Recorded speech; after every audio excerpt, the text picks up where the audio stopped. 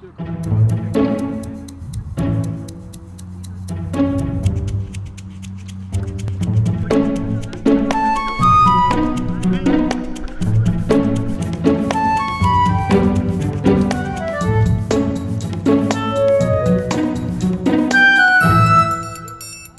on tämmöisen töissä käyvän ura-ihmisen laji. Koetaan vie päivässä, kun sen yhden kymmenisen sekuntia, toki vaatteiden vaihdot siihen luettuna. Ja sitten siihen jää koukkuun ja se olo, mikä siitä tulee, kun nousee avannosta, on ihan mieletön. Ja se tulee aina. Se on aivan sama, onko se siellä puoli tuntia vai käyt se vaan kastautumassa. Ja se olo on sama.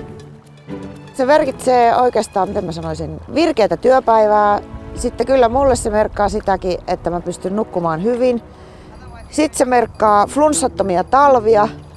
Ja sitten 30 asteen pakkasella saa nauriskella niille, jotka palelee, koska avantoimarilla on aina lämmin. Oi oi, tämä lopputunne on mahtava. Aivan niin kuin semmonen kerrasto päällä. Ei palele yhtään, niin tuota, kun noussut vessään kaikenlaisille luunkolotuksille tämä on lääkettä ja sitten ennen kaikkea työpäivän nollauspaikka, että työpäivän kiireet unohtuu ja tätä nousee uutena ihmisenä hyvän tuulisena pois. Te voi tulla kiukkusena tänne, mutta niin, täältä kun lähtee, niin aivan, aivan niin semmoinen tunne on niin kuin olisi käynyt jonkun ulkomaanmatka. Tämä sopii kaikille terveille ihmisille.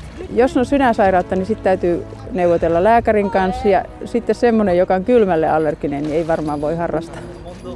Täällä on varmaan semmoinen parisataa, joilla on avain ja sitten näitä kertakävijöitä on keskiviikkoisin. Niitä on todella paljon. Tämä seitsemässä kuukaudessa yli 10 000 kävijää ollut.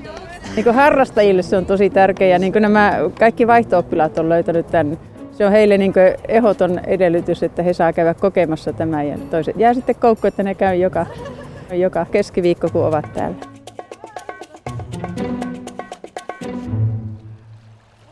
Se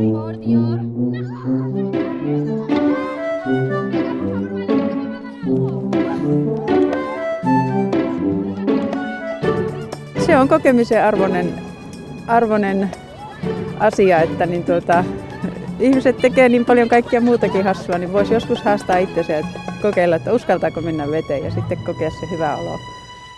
Että kyllä se kannattaa.